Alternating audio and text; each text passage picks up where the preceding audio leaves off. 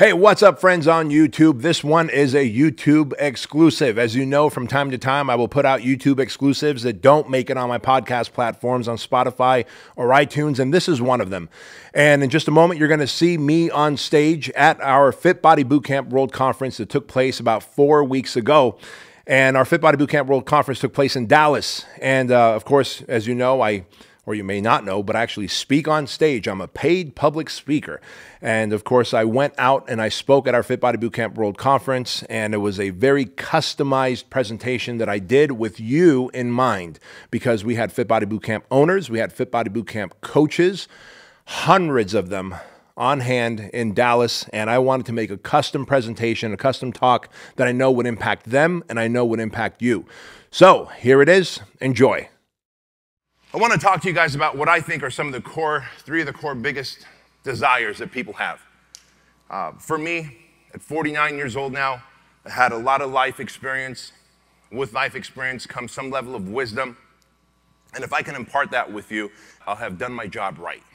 And what I mean by that is this I've figured out that we're looking for three things in life we're looking for money, meaning, and self mastery. And you could write those down, and we're going to break those apart in a second.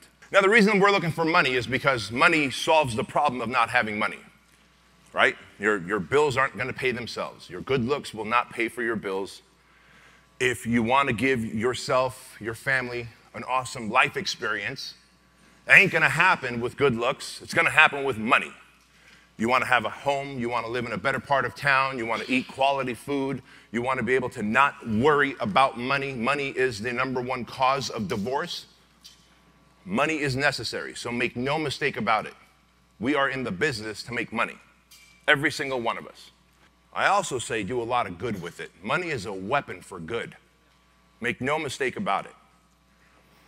And then meaning, we have to have some level of meaning. I mean, how many times have we heard about people that have money that just go off the deep end, man? They just get a high level of stupidity, right? Because they have no meaning. They have no main cause, no purpose.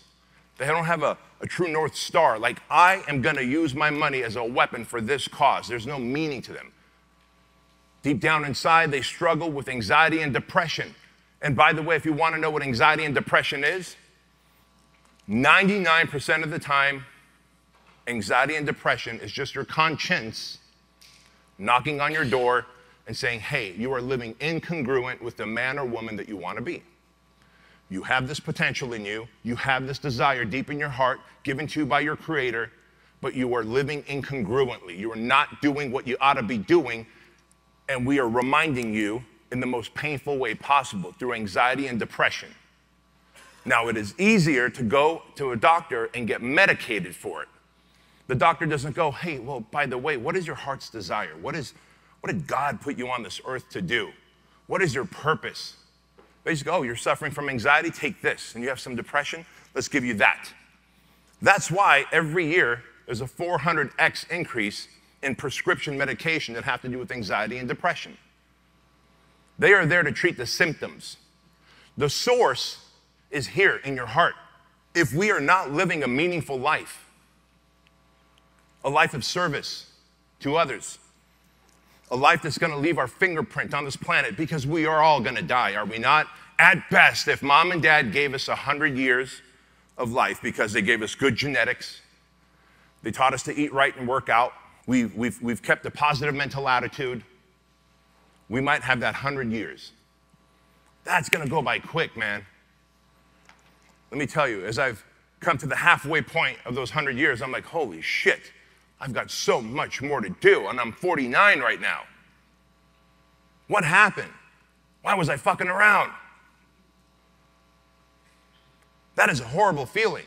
Now, I could only imagine people who have this desire in their heart to, to serve, to have meaning, to do something, but they're constantly choosing mediocrity over being a fucking savage. It's so easy to choose that too because it is literally promoted and it is celebrated to be mediocre. Yet no mom or dad ever tells their child, I want you to grow up and be average. You know, just be of average health, have average education, marry an average person, buy an average house, live an average life, do average things, make average money. You would never tell your child that. Yet that's exactly what they model to us. What they tell us is you could do anything you want. People don't care what you say, they do what you do.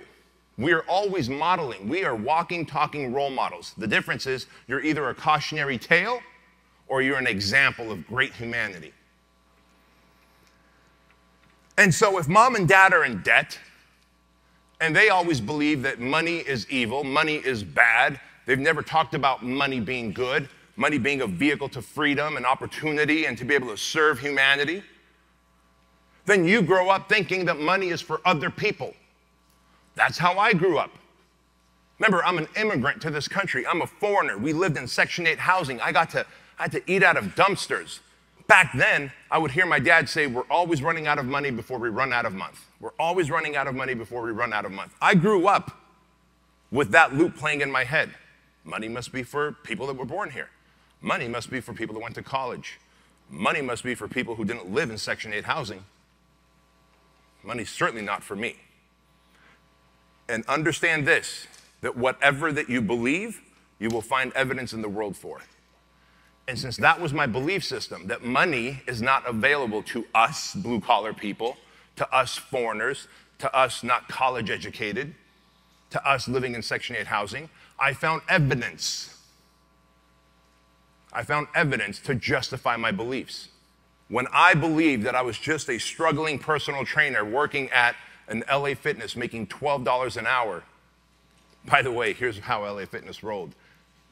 You get to make $12 an hour but you have to train two people in that hour. They're 30 minute sessions. Yeah. So stay dehydrated because you can't take a piss, right? It's like to make your 12 bucks, you gotta literally train one client. As you're saying goodbye to one, you're saying hello to the other and taking them back on the floor. They were charging those clients $400, $600, $800 a month, depending on if it was two, three, or four times a week with the personal trainer. I was making $12 an hour. Jim Franco was one of my four personal training clients. So I had to work a job at Disneyland as a busboy and a second job on the weekends as a bouncer at a gay bar. And the reason I worked at a gay bar is because the gay bar paid more than the straight bar. True story. Can I tell you guys that story, how that came to be? So there I was. I was a personal trainer, right? LA Fitness, four whopping clients because I was horrible at selling. Because the whole idea was if we sold someone personal training like $600 a month, it's a six or a 12 month program. They give you 10% commission and then hourly. And so when you have four clients, it really tells you what your closing percentage is, right? Shitty. I was the worst closer on the planet. And so I had, uh, during the week, I worked at Disneyland, uh, Carnation Cafe on Main Street Restaurants, one of only two sit down restaurants at Disneyland. And then uh, one day I was complaining. So, y'all probably don't know this, but Disneyland has the highest population of gay employees of, of any business on the planet. So, anyways, back to Bob and Randy. Bob and Randy were a couple. They worked at Disneyland in the Incarnation Cafe with me. Great human beings, love them to pieces. And one day I'm complaining to Bob. I'm like, Bob, man, this fucking sucks. I've got all these nieces and nephews. In fact, one of my nephews. Michael, you in here? Yep. There you go. I worked at the gay club for you, man. Um, True story. Like, Bob, I've got all these nieces and nephews, man, and the holidays are coming up, and I need another job. Like, between a personal trainer and a, and a busboy here at Disneyland, it ain't paying the bills. He's like, Well, you hang out with all of us, F word, right? You hang out with all of us here. So if you're not afraid to hang out with the rest of us there at this bar I go to, I'm like, fuck it, man, show me. He goes, they pay really good. I go, how much? $19 an hour. I'm like, son of a bitch. like, Let's do it, right? Because I wanted to be a bouncer. I figured, that's, what are you, stand around, listen to music? Gay people jumping up and down, raising the roof, dancing? I could do that, right? I could watch. Are you gonna fight? Stop it, don't fight, right? That's it. Here's what I didn't know, because I was like, why does a straight bar pay minimum wage, but the gay club is paying $19 an hour? And I quickly figured it out the second week when I was there, um, there were skinheads that came and they waited in the parking lot two in the morning with baseball bats, lead pipes, chains. and they were going to gay bash uh, when the club gave out. And the owner of the club said, hey, those guys are out there. It is up to you guys to make sure every one of our patrons get to their cars safely. I did not sign up for that to fight skinheads who are fucking weaponized, right? And so after a few months working at Oz, that's what it was called, Oz. It's on the 5 freeway in Buena Park, probably not there anymore. Um, I was like, you know, I'm done. And the reason I was done is because Jim Franco, that personal training client of mine, who I would complain to, man, Jim, it's a Monday morning, it's early for me. That's why I'm tired. I didn't get to sleep until 2 a.m. He's like, How are you sleeping at 2 a.m. and then waking up and coming in, in here for your first session at 5 o'clock? Well, Jim, I just have to make it happen, but I'm tired. I, I, I need more money, so I'm working at this gay club as a bouncer. He goes, You know why you don't have money, right, kid? And I said, No, explain. Now, keep in mind, at this point, I'm 23, 24 years old, probably 23. He's in his 60s. I go, Why? He goes, Well, you fail to understand sales. I go, Jim, I beg to differ. I closed you on personal training. You come in here three times a week for six months. He goes, You didn't close me on anything. You're an order taker.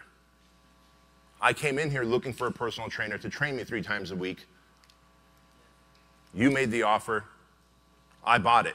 You just filled, fulfilled an order. He said, You're no different than a waitress at a restaurant. A hungry person goes with the intention to buy. The waitress doesn't sell them anything. I was like, Fuck. And I share that with you because when I told Jim, I said, Well, if I didn't, I didn't sell you, then, then I just took an order from you. How do I get better at selling? He goes, I'm going to bring you some books and some cassette tapes tomorrow. And he showed up with books and cassette tapes from Tom Hopkins and, and, and Zig Ziglar and Brian Tracy. And I had discovered a whole new world of sales, persuasion, overcoming objections, storytelling. Keep in mind, if you're like, wow, this motherfucker is really good at telling a story, English is a second language for me. I had to learn your language before I can actually draw a word picture for you that you're seeing in your mind's eye right now. And so if you think making money, having meaning, owning a fit body boot camp, owning multiple locations is impossible, it's not. I literally went from getting beat up by gangsters, gangbangers, eating out of dumpsters, having my hair washed with gasoline. True story as well. My mom had my dad siphon out gasoline from a parked car because we couldn't afford to buy lice treatment. Uh, one of the apartments that we lived in was just riddled with lice. I got lice. My mom washed my hair with, with gasoline because we couldn't afford lice treatment. And the life I live today is literally a Cinderella life. It's freaking nuts. With this life comes a lot of pressure, but as Tim Grover says, this pressure is a privilege. You know, I'm sitting back there in the green room, still nervous, still sweating. Been speaking for 11 years. I get paid 50 grand to speak from stage. Every penny of that $50,000 goes to Shriners Children's Hospital.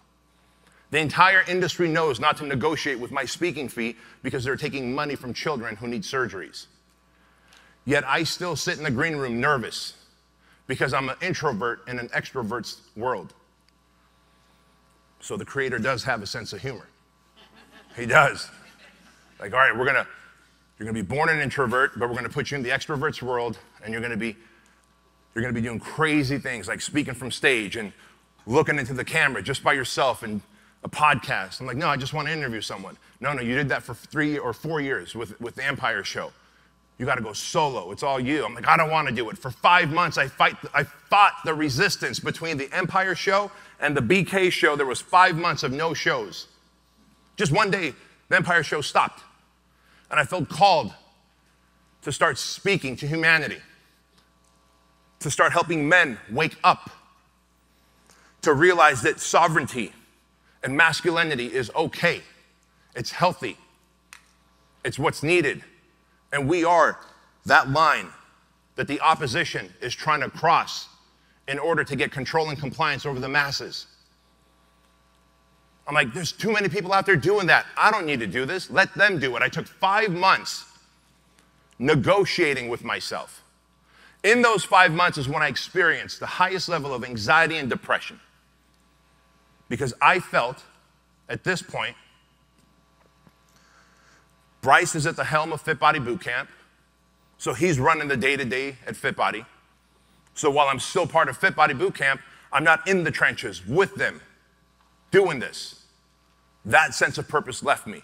I've got a great team at TruLean. They're rocking it. There's no, no nothing I could do there. The Empire Show was what I was doing. It would give me a sense of purpose to fulfill my calling. And then I just stopped. And for five months, I renegotiated and renegotiated with myself. And for those five months, anxiety and depression was the highest for me. And one day I told Joan, hey, Joan, I envisioned this black background with the logo and just gold uplighting and one microphone and one camera that I could look down. She's like, okay, done. I'll have the studio fixed in three weeks. It's like, shit, here we go. And it was literally, hey guys, welcome to the Empire Show. It is now the Bedros Keuilian Show. This is episode 2000, uh, 210 for the Empire Show, but episode one for the Bedros Keuilian Show. If you're wondering what happened to the Empire Show, I didn't even say goodbye. I just disappeared five months ago, and here I am now. And all the while in the back of my head, I'm thinking, no one is going to watch this on YouTube or listen to it on the podcasts. We put the first episode out, and boom, it just blows up 20,000 views on YouTube in three days. Within two weeks, over 150,000 views. On the podcast platforms, it blows up. Just to give you something to compare against, the Empire Show, our best episodes would get 4,000 views after like six or seven months on YouTube. And the Empire Show was like number 15 or 16 in business development. Now I'm top five in personal development on the podcast platforms and literally one of the fastest growing YouTube channels on the planet. We're adding a thousand new subscribers a day organically. No ads, no nothing. Every episode pops off. And I share this with you because when you were called to do something and you don't, you start negotiating your way out of it. You start kicking that can down the road. Well, it has to be perfect. So I'll make sure we have the logo and the brand and the background and let me do the research. Just launch. Just launch. And you will have the greatest sense of money and meaning. And that is vital to us, man, as humans. Absolutely vital. And here's the cool thing about it none of you are islands operating by yourself. You probably have a mom or a dad. You probably have siblings. You probably have a significant other. You have your person. You, you, you have kids. There's people watching you. We're role models. Like it or not, you're a role model. And so understand that the business that we're in, guys, I, I was so wrong. I thought I was in the business of fitness. I thought I was in the business of helping people get fit.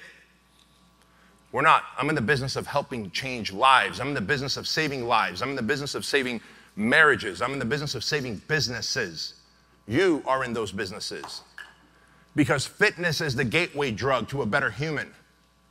That third component that we're going to talk about, self mastery, whew, that's the magic formula. Self mastery, your higher self. Because I believe we're all born as human animals. And that's by design. A child, a baby, a toddler has to be selfish. The human animal is very selfish. The human animal is selfish, it's greedy, it's emotional. It does things when it feels like it because it doesn't have impulse control. The human being is someone that has, has evolved. The human being is connected to consciousness. The human being, on the other hand, is selfless. The human being understands that I have to be kind, that I have to serve humanity, I can't be selfish. It is only then when we evolve transcend, connect to consciousness, tapped in, that we start seeing the world as though it's a movie. I literally feel like this shell that I'm living in, the human animal, I'm consciousness stuck in a human animal. Let me just explain it that way. And my eyes are the windows, and I'm witnessing everything. And so when it was 1.30 in the morning and I'm driving through Georgia and the human animal's like, fuck this, This sucks. Text Bryce, let him know. Pull over, buy something sweet and eat it because I'm an emotional eater. When my emotions go high, I eat. I don't drink. I don't snort coke. I eat. I will out eat anybody. And I don't eat like, oh, is that chicken breast? Let me have it. It's bagels. I'll break a bagel in half and dip it in the whipped Philadelphia cream cheese and eat it standing at the counter because humans eat at the table. Animals eat at the counter right there with the fridge, the fridge open behind me. And we, have, we, my family, we have one of those fancy fridges now because I'm rich. So after like a minute and a half, it goes beep, beep, beep, beep, beep, beep, beep, beep, beep. And I don't give a fuck if it's beeping or not because I've got bagels and I got two tubs of cream cheese, right? That's the human animal. But those days are long gone. It's been years since I've done that. But make no mistake about it, when you're tired, when you're hungry, when you're exhausted, and you're driving, you know you got three states you got to drive through to get to a destination. The negotiation begins. We always negotiate. The difference is, I used to let the inner critic win. Now I give more power to the inner advocate. Like, dude, imagine if Andrew and Chloe are sitting in the back seat of this fucking car that keeps trying to keep you in the lane. How would they feel if you're like, hey guys, so we're just gonna text Bryce now and tell him that we're not gonna make it to the, to the mastermind? And you could justify it. Like, you know, guys, we're eight hours late to the flight. We missed the flight. We missed the other flight. We tried. Here we are. We're South Carolina. Let's just call it a day. We did the best we could. Let's catch a flight and go back. I always picture that my kids are in the back seat, they're with me, they're backstage watching. And because of that, I'm role modeling the highest version of myself. And when I role model the highest version of myself often enough, that soft habit becomes a fixed habit. Now I have no choice. I see escalators and stairs, I just take stairs. I see a parking spot up here up front and I see a parking spot way in the back, I just park in the back. If you and I are sitting at lunch, breakfast, dinner, it doesn't matter where we're sitting, the food comes out, I'm just gonna hold conversation and wait for you to take the first bite. You don't even know that we're competing, but we are.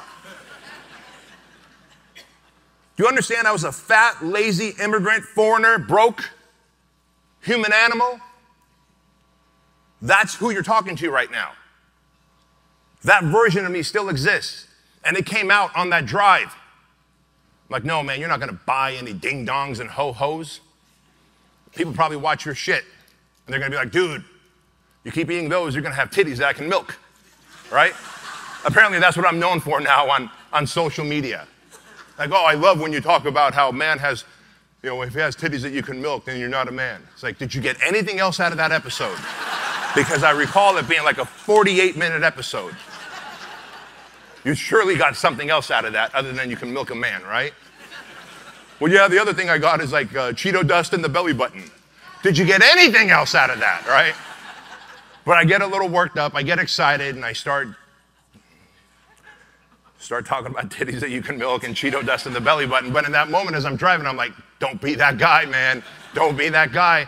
And so it's so cool to see consciousness and the human animal fighting. And every time, consciousness wins now. There was a time that every time the human animal won. And I could justify it because, fuck, it's the pandemic, right? Even during the pandemic, I didn't eat my emotions. I started drinking a little bit more than I should, but I didn't eat my emotions because that's my Achilles heel. Like, no, no worse than being in the fitness industry and then going, fuck, man, I can only make videos from the chin up. right? That's just a reality. Like, I chose a really bad industry to be an emotional leader. Like I should have been like a fucking chef or something. Like I started off as a busboy. I could have just kept going that path. Said I'm like, no, I think I really want to help people get fit and healthy. Stupid. Best decision I ever made. But understand, man, that we're not, we're not, not, not just fitness professionals, just personal trainers. We're better than doctors, we're better than lawyers, we're better than accountants, we're better than everybody out there because we are prevention. We're the cure to anxiety.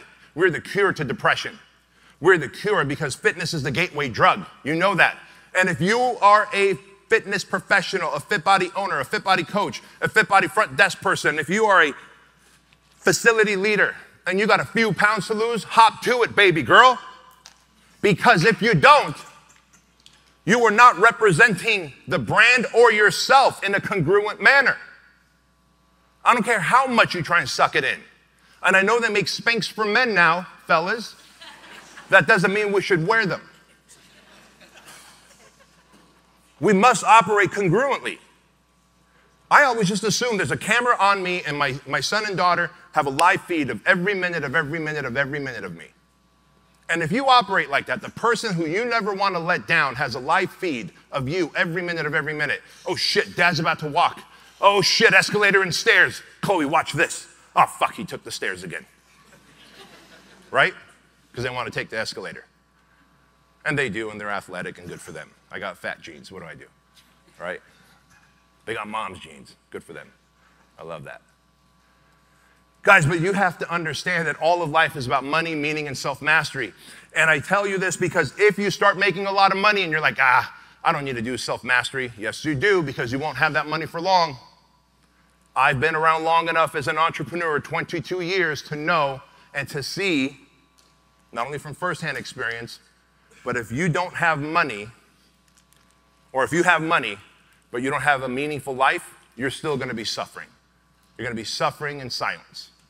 You're going to be white knuckling through life because you've got money, but you've got no sense of meaning and purpose, and you're going to be anxious and depressed. What's the point of money if you are not happy? And if you don't have self mastery, you're not going to keep that money long. I promise you. Self mastery is discipline, self mastery is focus, self mastery is consistency. Self mastery is serotonin and not dopamine. Dopamine is when we're scrolling through the, through the iPhone, screen sucking, and watching things. Oh, it feels good. You got a dopamine hit. So when I would crack open a bagel and eat it, one after another, dopamine hit. Alcohol, drugs, vape, pornography, all of that, dopamine hits. Binge watching television to escape your reality, all dopamine hits. For a moment, I feel good about life. It's an escape. You know what serotonin is? Starting something long term and finishing it, and then maintaining it. No one talks about serotonin. Everyone talks about dopamine. Serotonin is the absolute feel good drug. It is when you have a baby and you raise that baby into a toddler, elementary school, high school, and they launch into humanity, and they are an asset, not a liability. That is serotonin. It is when you decide that you're going to commit to building a business and you sign that lease and you build out that location, you build the team, you run the marketing, and every step of the way, every step of the way, the bear shows up in your life. Wait, what the fuck is the bear, B? So let me tell you about the bear. The bear and the dragon. You can write this down. We all have a bear and a dragon in our life. The bear is external resistance. The bear shows up when you're signing a lease and that landlord gives you a different uh, uh contract than the LOI. The bear shows up when you hire someone, train them, and two days before you open the doors, they quit. The bear shows up when you run out of financial runway before you projected to run out because the contractor and everything else cost more and took longer. The bear shows up when the city says, ah, ah, ah, conditional use permit. We need to see if you can, you need a conditional use permit. It's gonna take us six weeks for us to do that little study to see if there's enough parking spots. Motherfucker, I can count one, two, three, four, five, six, seven, eight, nine, ten.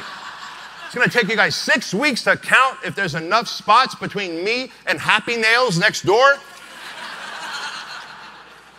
what the fuck, right? No, no, no, we need to give you a conditional use permit. Or what? Or you can't run a boot camp there. But I signed a lease. Mm-hmm. That's the bear. That's the bear. The bear is there to go, do you really want it? And how bad do you want it? And what are you doing to get it and keep it? All external resistance is bear. And without the bear, we'll never get it. Just know that. The Creator knew what He was doing when He puts the bear in front of us over and over again. It is like resistance in the gym. It is the battle ropes. It is the sled. It is the kettlebells. We develop our physical muscles. We need to develop resiliency, resourcefulness, those muscles, mental toughness, emotional discipline, decisiveness, those muscles are only developed when the bear comes to visit. This is why people that just win the lottery, you're in there buying your Red Bull and a can of Monster and some, uh, a bag of Cheetos to wa- wash it all down with, and like, fuck it, Powerball, $300 million. Let's do this. And oh, fuck, I just won $300 million. Within two years, you're broke. Why is it that 82% of people that win the lottery are broke within two years? Because they didn't get to that money while experiencing different levels of bear.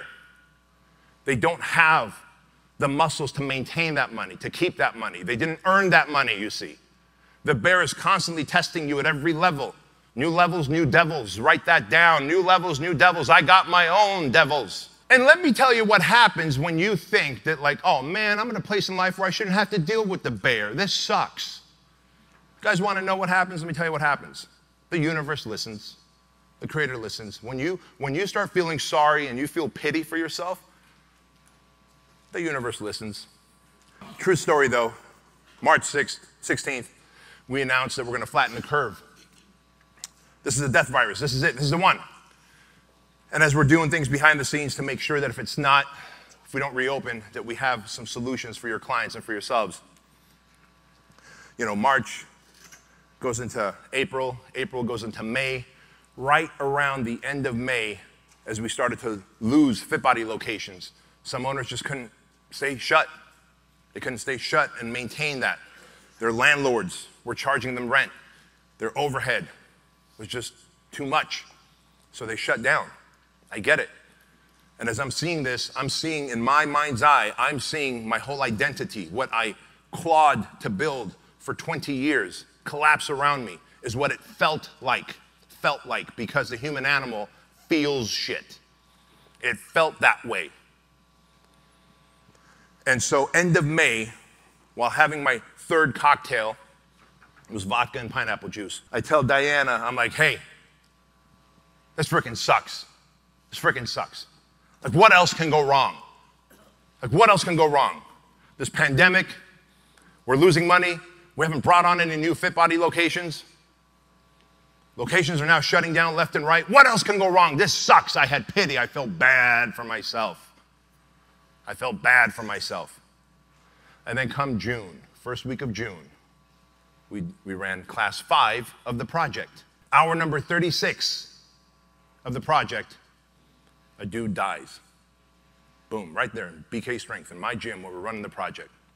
I asked the universe what else can go wrong. I started to feel like a victim. This sucks. We're closing down locations. We're losing locations. No new locations are coming on board. Pity me. What else can go wrong? And the creator says, Here's what else, motherfucker. Rick Spoon can fall over and die. All of a sudden, as we're pumping on his chest, all I'm thinking to myself is, if there's any way he can come back, I'm willing to lose everything, everything, if we can get this guy back. He didn't come back. I'm not saying I was complicit in that, but I did say what else can go wrong. So never feel sorry for yourself. Never ask what else can go wrong. You just stay in the fight. When you die, you'll know because you're no longer fighting. Just stay in the fight. The bear is outside, outside resistance. And so that means we've got the dragon left. And what is that dragon? It is the internal resistance. It is what happened to you as a kid. I was molested as a kid for two years between the ages of four and six by two older boys. That left me a lot of mental and emotional trauma. I never, I never healed through that process. Not until I was 35 years old and started working with a therapist. I carried the weight of that, and it showed up in ugly ways in my life. The dragon is all of the things, the way you self sabotage, those self limiting beliefs that you were told that you're, you, you just have, you have bad genetics, you're always going to be fat. You're not that smart. You're not that good looking. Everything internal is dragon. When you learn to master the dragon and fight through the bear, you have mastered life, my friends. And mastering the dragon means doing the self work, doing the work that you got to do even when you don't feel like it. even when your emotions tell you not to, even when you begin to negotiate and the inner critic comes out and says, don't, and here's why, and it actually makes sense not to get out of bed and do it, still do it. Let the inner advocate take over. I'm gonna do it anyway. I'm just not gonna do it with a smile. I'm gonna work out, but I'm not gonna do it with a smile. I'm gonna eat right, but I'm not gonna do it with a smile. In fact, I'm gonna do this under protest. I'm gonna drive all the way to that fucking mastermind in North Carolina under protest. Because I know there's a hidden camera in here and there's a live feed Andrew and Chloe are watching. So fuck this. I can't even eat some ding dongs and ho hos because there's a camera in here. Like, that's how you got to operate. And guess what? When I walked into that room in North Carolina, and everyone's happy to see me, and I'm happy to see them, like my people, all of that that happened last 20 some odd hours was worth it. Absolutely worth it. I did nothing under protest. I did everything with absolute enthusiasm from that minute forward when I walked in through those double doors. So I'm here to tell you that some things you will have to do under protest, even when you don't feel like it, even when your emotions tell you not to, even when it's cold, you didn't sleep well, it hurts. Do it anyway, yes? yes. Thank you. My job here is done. Love you guys.